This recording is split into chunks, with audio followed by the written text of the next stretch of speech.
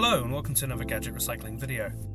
Today we're going to be exploring NFC and show you the troubleshooting process we go through to fix a very often overlooked function of the iPhone 7. NFC or near field communication is low range wireless. For iPhone specifically, this is used solely for Apple Pay. As you'll see, it can often be rendered useless during simple repairs such as a display swap.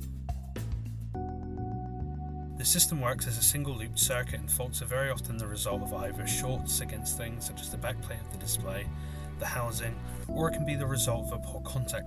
This can happen on any link of the chain throughout the circuit that the NFC takes. So, starting with simple contact shorts, these can cause the flow of energy to route in the wrong direction of the device, which results in, you guessed it, no NFC. The major one to pay attention to is the alignment of the NFC flex that sits in the top right corner of the device. It needs to be sat upright relative to the back of the device. Anywhere towards the edge of the phone or the board will result in a loss of NFC, as it will typically contact the back of the display. Now for breaks in the connection. This is the path that the NFC takes, linking from the board via an NFC flex into the top section of the chassis and then back onto the board via an auxiliary ground on the left hand side of the device. Here using board view software you can see the links start to finish from the board's perspective. On this side we have the NFC output, on this side we have the auxiliary ground. The primary suspects on the iPhone 7 are the standoff screw that fasten the NFC flex down onto the board,